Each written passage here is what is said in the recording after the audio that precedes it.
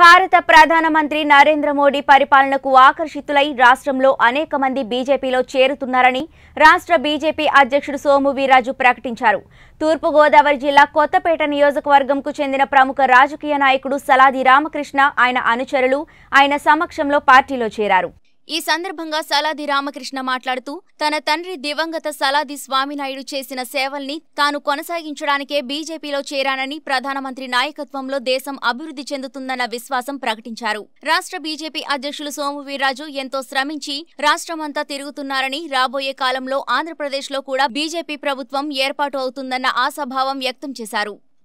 రోజుల్లో అది తిరుపతి దాకా విస్తరించేటువంటి పరిస్థితి భారతీయ జనతా పార్టీ దీనికి ప్రధానమైనటువంటి కారణం నరేంద్ర మోడీ గారు భారతదేశంలో చేపడుతున్నటువంటి అనేక రకాలైనటువంటి అభివృద్ధి కార్యక్రమాలు ఈ రాష్ట్రానికి మీ అందరూ కూడా చెప్తున్నారు. నిన్నే మంత్రి గారితో మాట్లాడాను. గృహ నిర్మాణ శాఖ మార్చులతో ఇరవై మూడు లక్షల ఇళ్ళు ఇచ్చారు ఇరవై మూడు లక్షల ఇళ్ళు. ఆ ఇరవై మూడు లక్షల ఇళ్ళు కట్టకపోతే మన మార్చి ఎనిమిది లక్షల ఇళ్ళు మళ్ళా ఢిల్లీ వెళ్ళిపోయింది. పదిహేను లక్షల ఇళ్ళే ఈ రాష్ట్ర ప్రభుత్వం కడతానంటుంది. ముప్పై లక్షల పట్టాలు ఇచ్చారు. పదిహేను లక్షల ఇళ్ళు కట్టాలని నిర్ణయించారు. ఈ పదిహేను లక్షల ఇళ్ళలో రాష్ట్ర కేంద్ర ప్రభుత్వం లక్ష యాభై వేలు సబ్సిడీ ఇస్తుంది. పదిహేను లక్షలు ఇంటూ లక్ష యాభై వేలు సబ్సిడీ నరేంద్ర మోడీ గారు. మరి జగనన్న కట్టేటువంటి ఇల్లు కాదు నరేంద్ర మోడీ ఇచ్చేటువంటి ఇళ్ళలో ఇచ్చేటువంటి సింహభాగం భారతీయ జనతా పార్టీ ప్రభుత్వం కేంద్రం ఇస్తున్నది.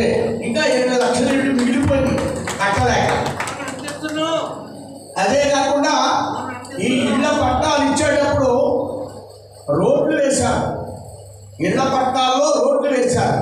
దానికి ఒక మూడు వేల కోట్ల రూపాయలు ఇచ్చాం. రోడ్లు వేయడానికి ఎన్ఆర్ఈ చేసి నిధులు.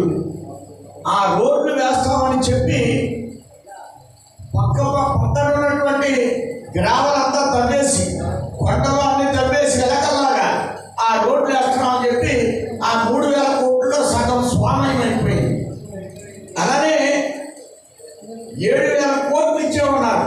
ఇళ్ళ పట్టాల కోసం కొనడానికి ఈ ఏడు వేల కోట్లు మన తూర్పుగోదావరి జిల్లాలో కానీ ఒకసారి పరిశీలన చేసినట్లయితే పక్కనున్న ఆవు భూములు కొనేసారు ఈ కలెక్టర్ గారు అందరూ కలిసి.